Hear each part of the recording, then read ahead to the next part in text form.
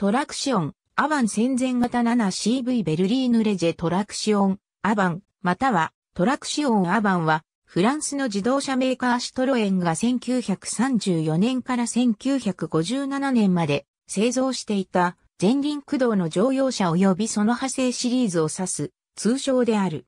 世界でも極めて早い時期に前輪駆動とモノコック構造を採用した自動車の先駆の一つである。軽量かつ低重心で操縦性に優れ、かつ室内も広いという理想的な乗用車であった。その性能は1930年代マイナス1940年代においては極めて高い水準にあり、万人に好まれ、広く知られた製品となった。トラクションアバントとは、もともとフランス語で前輪駆動を意味する言葉であるが、このシトロエン最初の前輪駆動車があまりに有名になったために、これを指す固有名詞として通用するまでになった。これ以後シトロエンは生産モデルのほとんどが前輪駆動車という1960年代以前においては極めて稀有な自動車メーカーとなった。1999年には全世界の自動車雑誌編集者等によって選出されたカーオブザセンチュリーの自動車100選に入選し、うち特に傑出したとされる25台にも含まれた。右前輪足回り。後方に向かって伸びる縦置きトーションバーをメインスプリングとするコンパクトな構造である。大まかには前輪及びエンジンを含むフロントのパワートレインユニットと後輪を含むボディに分割される。フロントユニットとボディ部分はわずかなボルトで接続されるだけで十分な一体性を保つことができた。前輪は縦置きトーションバーで指示されたダブルウィッシュボーン式の独立喧嘩で、この両輪間に乗り出すようにギアボックスと作動装置が一体のトランスアクセルが配置され、その後方に水冷エンジンが接続される。ラジエーターは前方配置である。動力はトランスアクセルから不等速なカルダンジョイントで前輪に伝えられる。前輪からスカットル部分に至るまでが一体構造のユニットとなっており、動力システムは、ほぼこの部分で完結している。モノコック構造ボディ部分は全構成のモノコック構造で、フロアパネルを眼鏡に構築し、軽量性と耐久性を両立させている。プロペラシャフトを持たない前輪駆動車のため、床面は低く平らで低重心である。リアサスペンションは横置きトーションバーとトレーリングアーム指示による固定軸であるが、後年のトーションビーム式サスペンションに類似した半独立型とも言うべき機能があり、コンパクトな設計となっている。また、ボディ構造上、ホイールベースの伸縮設計が容易で、小型のレジから中間クラスのノルマル、ロングホイールベースで3列シート配置の大収容力を備えるファミリアールとその商用版など多彩なバリエーションを生んでいる。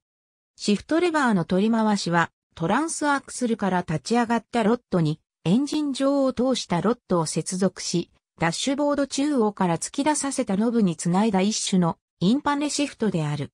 ブレーキはこれ以前からすでにシトロエンの標準仕様になっていたロッキード式4輪油圧ブレーキで角輪のドラムブレーキを制動する。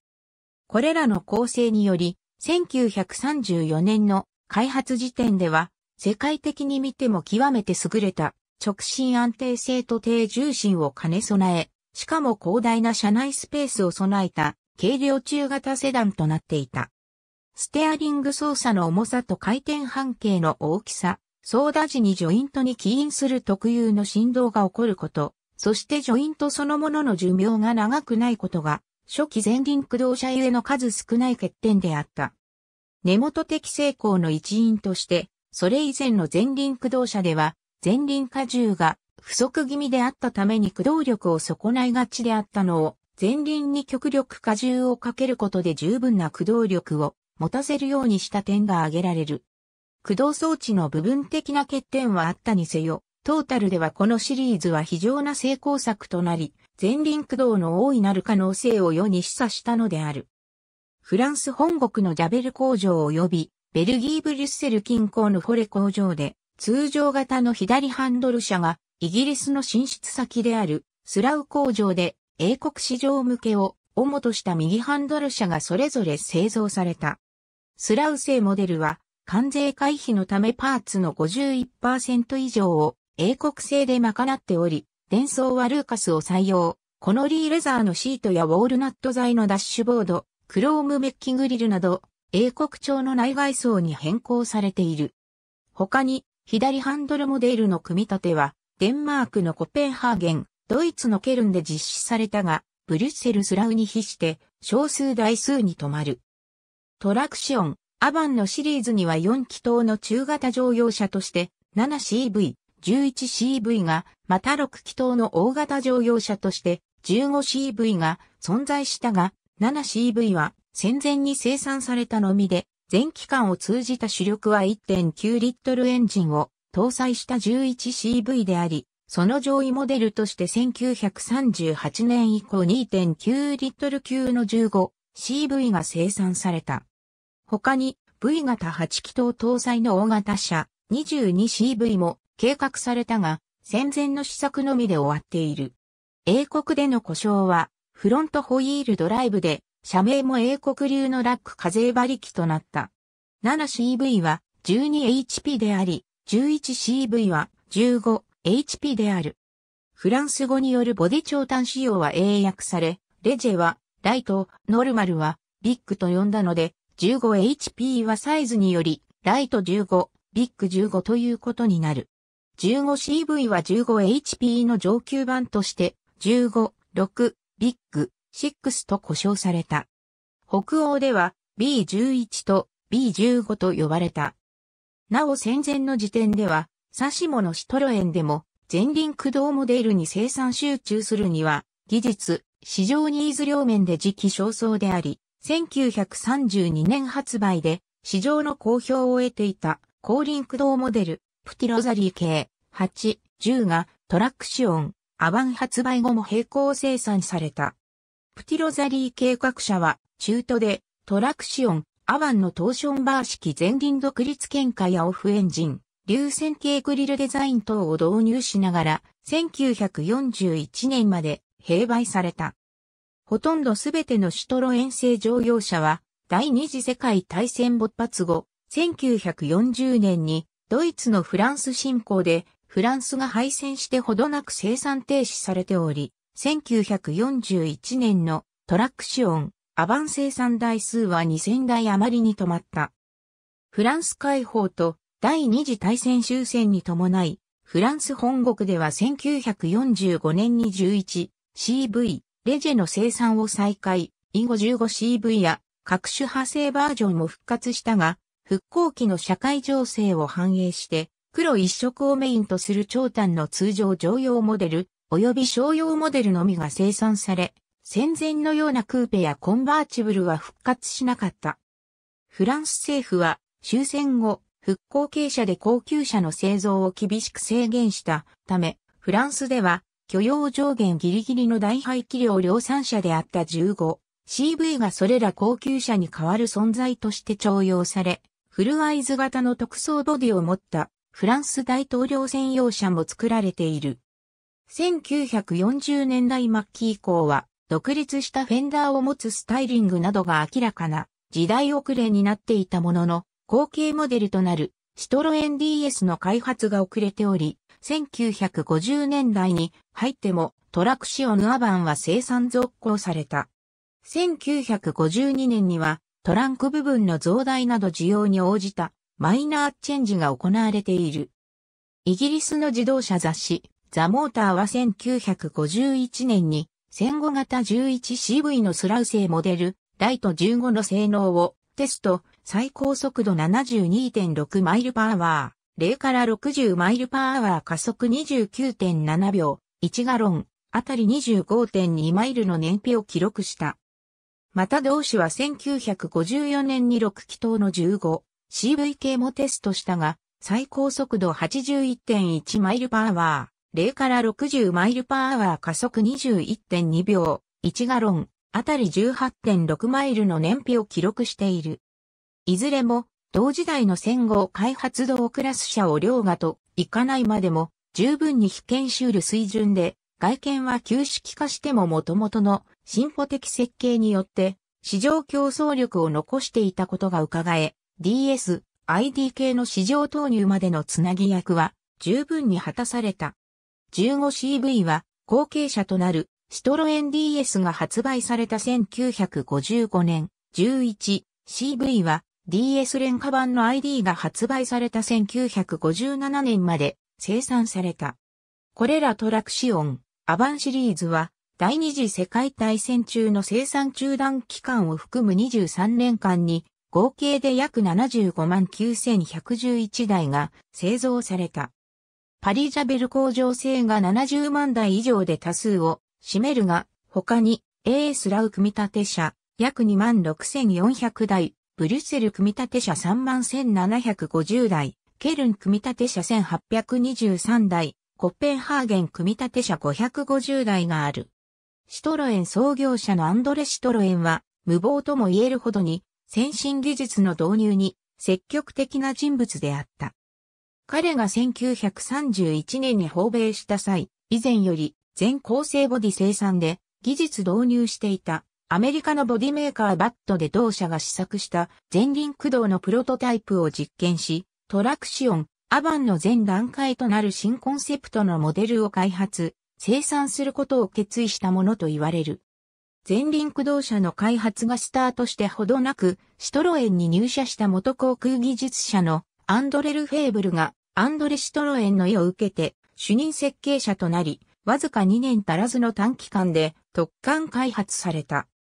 この世界でも最初期の大量生産前輪駆動車は、すべてが全く新しく設計されたもので、当時の広告には、前輪駆動、フレームのないモノコック構造、トーションバースプリング、空力ボディ、邪魔するものがない、床面、顕著な操縦安定性と記されていた。列記された高度なメカニズムが、顕著な操縦安定性と高い居住性を確保することに役立った。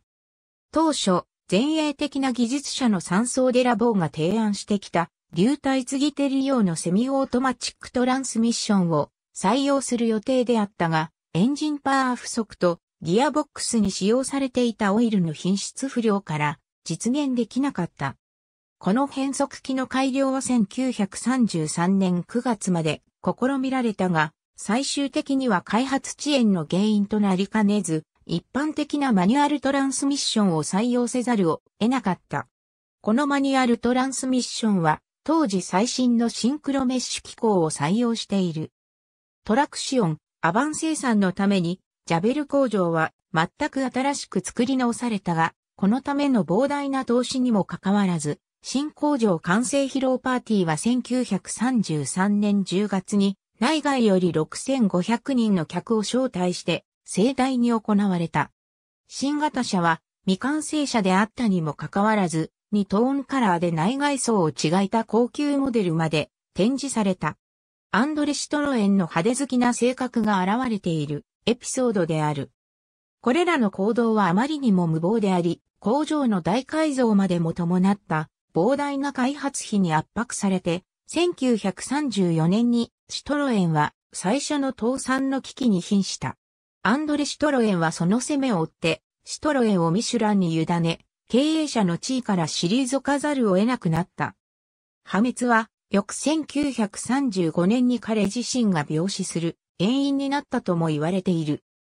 最初のモデルである4気筒 1303cc のシトロエン 7CV は1934年5月に発表され、同年に4気筒 1911cc のシトロエン 11CV が、また1938年には6気筒 2867cc のシトロエン 15CV6 が発売された。これらは基本構造の多くが共通である。トラクション、アバンの基本メカニズムである前輪駆動など新機構が理論上理想的であったのは確かであったが、実際には改良すべき点は多く、最初の 7A が顧客の手に渡ってからも、ユニバーサルジョイント、ギアボックス、リアサスペンション等に、主樹の弱点をさらけ出したという。試作車をテスト不足のまま量産して顧客に販売したようなもので、このため当初は不評も買った。これらの評判を打ち消すために、車を崖の上から落下させて破損の少なさでモノコックボディの強度の高さを実証してみせるなどのデモンストレーションが図られている。11BL スポール発表時の外観はエンジンルームの換気用ボンネットフラップは前後とも後方開きでトランクリットはなく内側から荷物を出し入れしたのでナンバープレートはリアバンパー上の中央にありダブルシェブロンはクロームグリルの後方にある。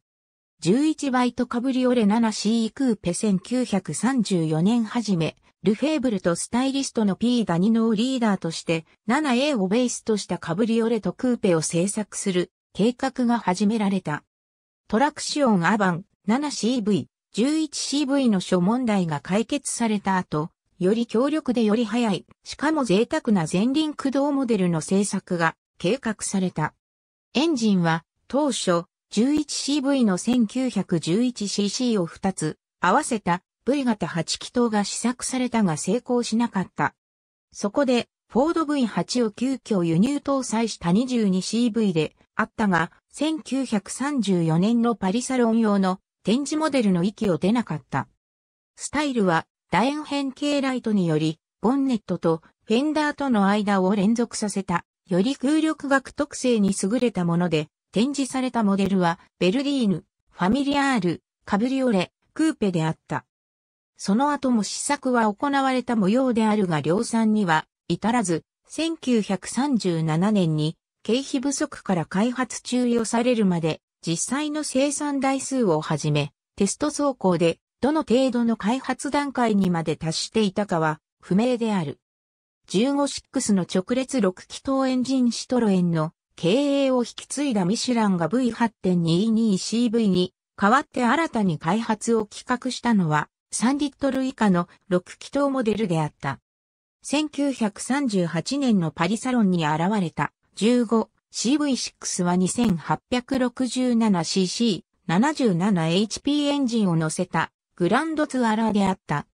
11CV のボディ前方を延長して長い6気筒エンジンを乗せたもので 22CV よりは手っ取り早い大型モデルの開発であった。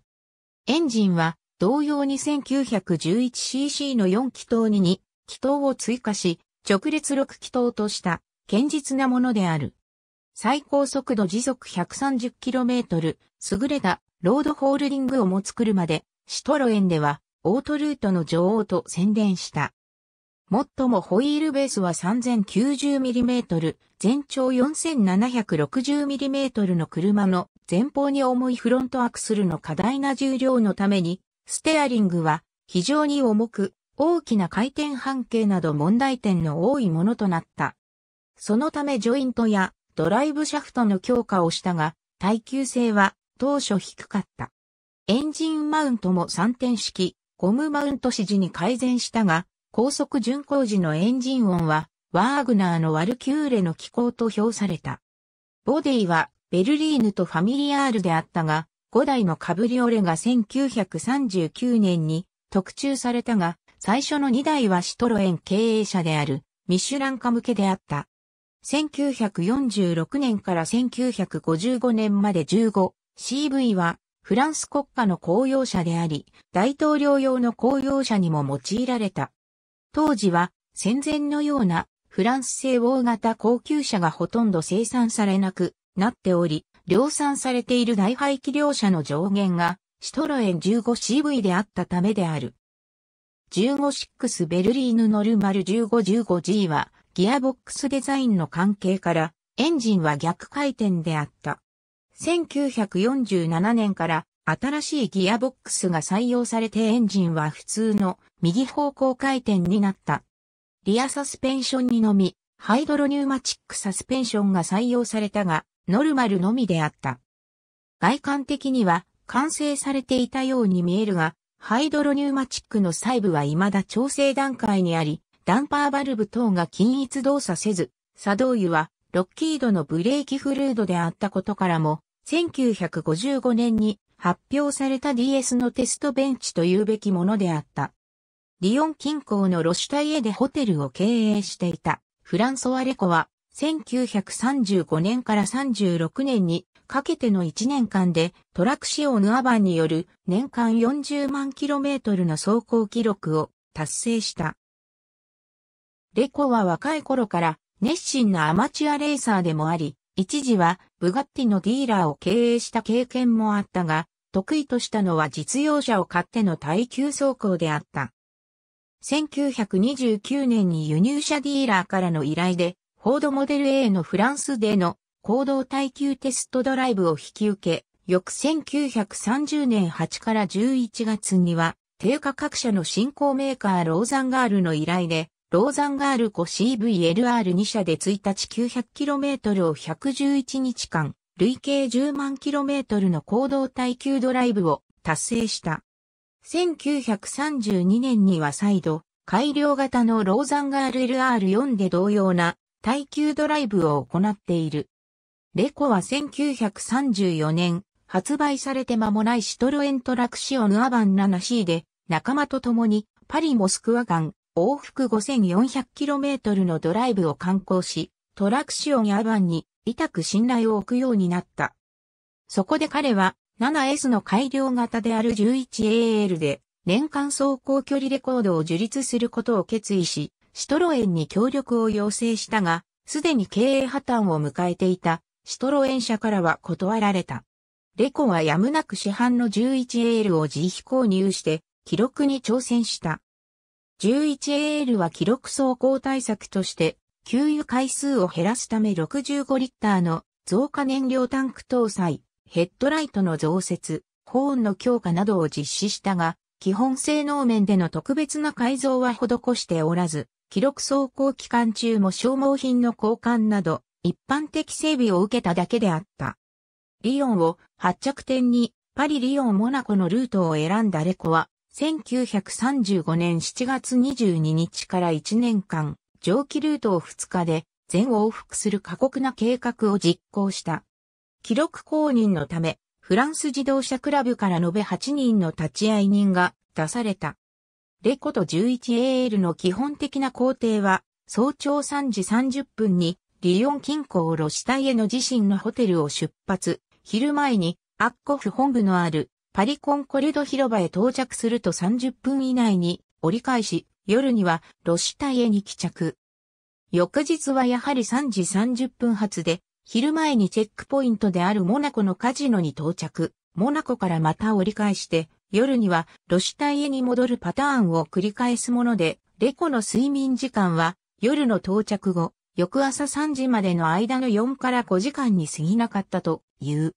酷使され続けた 11AL は、レコの就寝中に専属メカニック2名が夜通し整備した。この間、記録ルート上の国道を往来するトラックドライバーたちの間では、決まった時間帯、決まった一帯で頻繁に遭遇するナンバープレート 3057RJ7 の1台のシトロエンの存在が話題になった。やがてその真意に気づいたドライバーたちは、シトロエン 11AL が後方から高速で現れると、すぐに先を譲るようになったという。100時速 110km 程度のトップスピードが可能であった 11AL は記録挑戦に際して原則時速 90km 以上を出さないように図られていたが、後年に比べ道路事情の悪かった当時は、それでも非常なハイペースのドライブであった。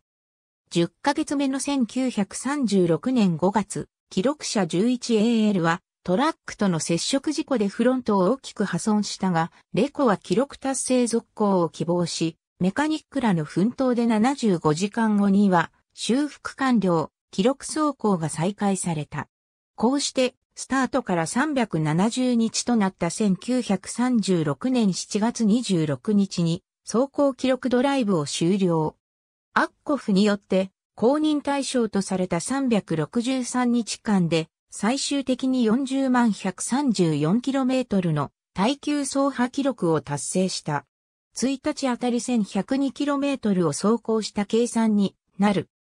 レコが単独ドライバーとして行動で打ち立てた年間走行距離記録は、後、フランスのレーシングドライバーであるフィリップ・クーセノンが、プジョー607のディーゼルモデルに乗り、2002年4月22日までの355日間に走行時間4888時間で50万キロメートルを走破したことで破られた。だが、65年間の技術と道路事情の進歩向上を加味してもクーセノンの記録更新がレコの25%増に止まったことは、レコの忍耐力とトラックシオン、アバンの高いポテンシャルを如実に示すものであろう。レコの事例に限らず、性能記録達成に熱心であったアンドレ・シトロエン時代末期と異なり、経営破綻後のシトロエン社は、レースやラリーなどに和外して冷淡で、長くワークスチームを組むようなことはなかった。